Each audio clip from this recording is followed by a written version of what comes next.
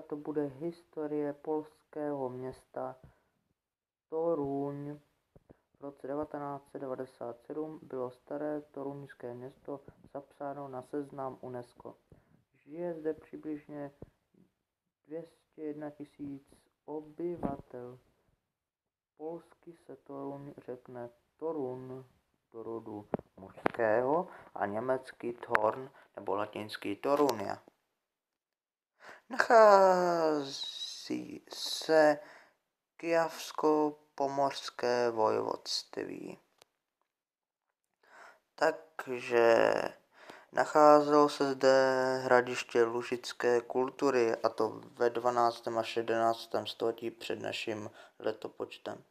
V Toruni se narodil Mikuláš Koperník, město je v Polsku známé produkci perníku, tedy má stejnou pověst jako v Česku v Pardubicích.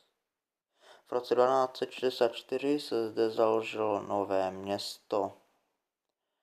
Takže nachází se zde kostel, slavný je zvon ve zvonici pod přezdívkou Tuba, kterou jste slyšeli na začátku.